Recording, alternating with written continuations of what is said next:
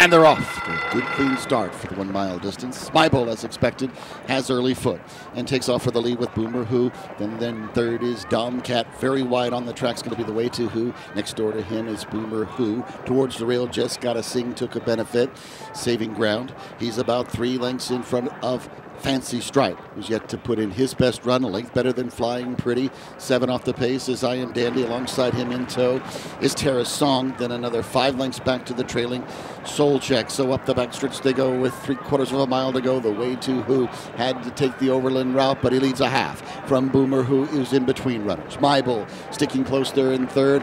Long striding Dom Cat putting on a good show there, waiting for those top three. He's in fourth. Five to the good of Flying Pretty, who is improving. The favorite, Fancy Stripes, got about six to gain. He's got some pressure to his outside from Terrace Song, then five more lengths to I Am Dandy, and out of contention at the moment is Soul Check. Three furlongs to go.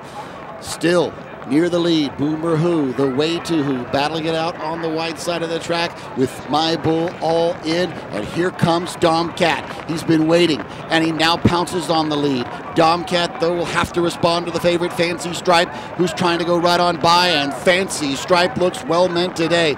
Beginning to take over, drifting in somewhat, leads by two. Terrace Song gives Jason second. Not much left there for Dom Cat or Boomer Who. It's the favorite. Although running a bit uh, awkwardly, Fancy Stripe is well clear and now bounding on home. Fancy Stripe put this one to bed at the top of the stretch and takes it for a three length score. Terrace Song completes the exact uh, six lengths back to Boomer Who.